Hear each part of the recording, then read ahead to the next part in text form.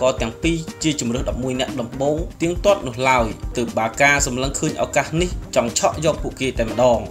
Werner និង Ziyech សុទ្ធតែបានចូលលេងត្រឹមតែ9ប្រកួតនៅរដូវកាលនេះឲ្យ Chelsea ដោយឡែកដោយស្ថានភាពហិរញ្ញវត្ថុរបស់ក្លឹប Barcelona កំពុងតែដុនដាបគឺក្លឹបគ្មានប្រាក់ដើម្បីទិញយក Werner និង Ziyech ទើបចង់ខ្ចីជើងព្រមជាមួយនឹងលក្ខខណ្ឌអាចទិញប្រាច់បានជាមួយគ្នានោះដែរលោកសាវីក៏កំពុងតែតាក់ទងខ្សែប្រយុទ្ធ Raheem Sterling ពី Manchester City ផងដែរ